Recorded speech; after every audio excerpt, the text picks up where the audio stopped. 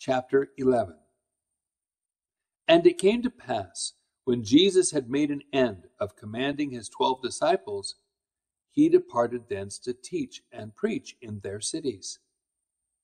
Now, when John had heard in the prison the works of Christ, he sent two of his disciples and said unto him, Art thou he that should come, or do we look for another?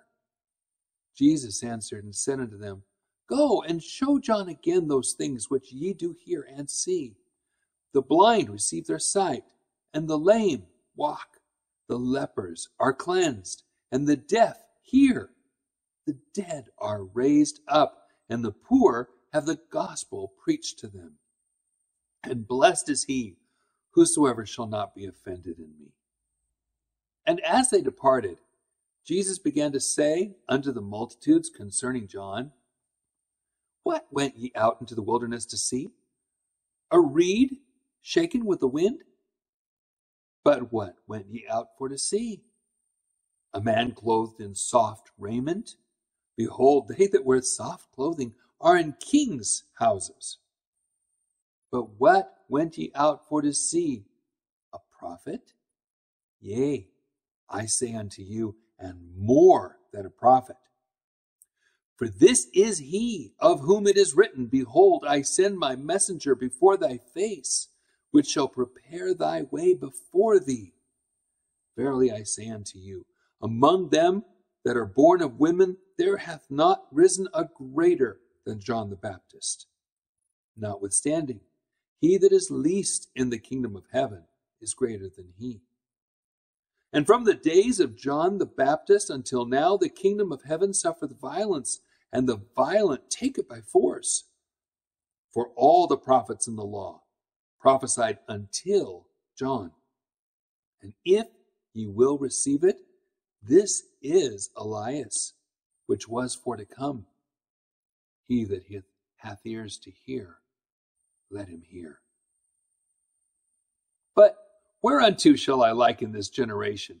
It is like unto children sitting in the markets and calling unto their fellows and saying, We have piped unto you, and ye have not danced. We have mourned unto you, and ye have not lamented. For John came neither eating nor drinking, and they say, He hath a devil.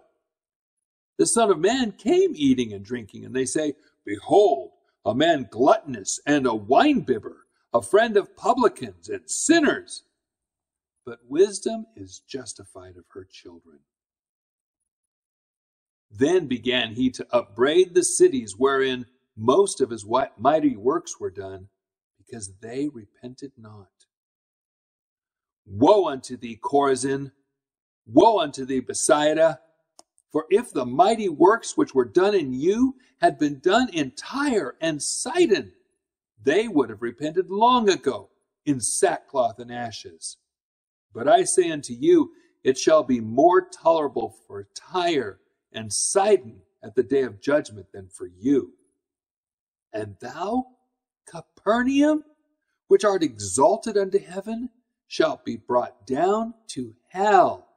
For if the mighty works which had been done in thee had been done in Sodom, it would have remained until this day.